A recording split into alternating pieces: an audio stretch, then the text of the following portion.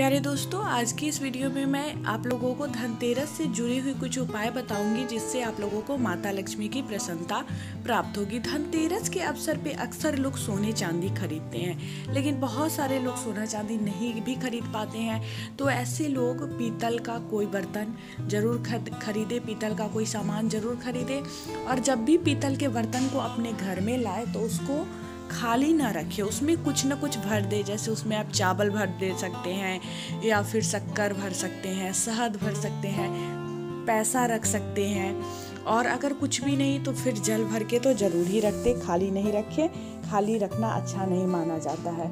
और धनतेरस के अवसर पर एक और उपाय करें आप धनिया ज़रूर खरीद के अपने घर लाए। धनिया जो है, वो समृद्धि का प्रतीक माना जाता है। तो धनिया को घर में लाना धनतेरस के दिन बहुत शुभ माना जाता है।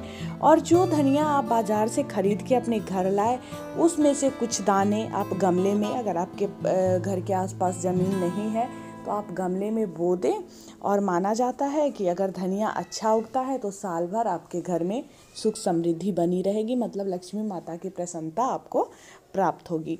तो इसी तरह का यूज़फुल वीडियो के लिए आप मेरे चैनल को सब्सक्राइब करें, साथ में बेल आइकन को प्रेस करें, ताकि जब भी मेरा नया वीडियो नोटिफिकेशन सबसे पहले आपको मिलेगा। नोटिफिकेशन बेल को जब प्रेस करिएगा तो ऑल पे क्लिक करिएगा, ताकि जो भी वीडियो आएगा ना तो उसका नोटिफिकेशन सबसे पहले आपके पास पहुंचेगा। वीडियो पसंद आया तो लाइक करें और इसी तरह के यूज़फुल वीडियो पाने के लिए आप मेरे चैनल के साथ बने रहे तो वीडियो देखने के लिए।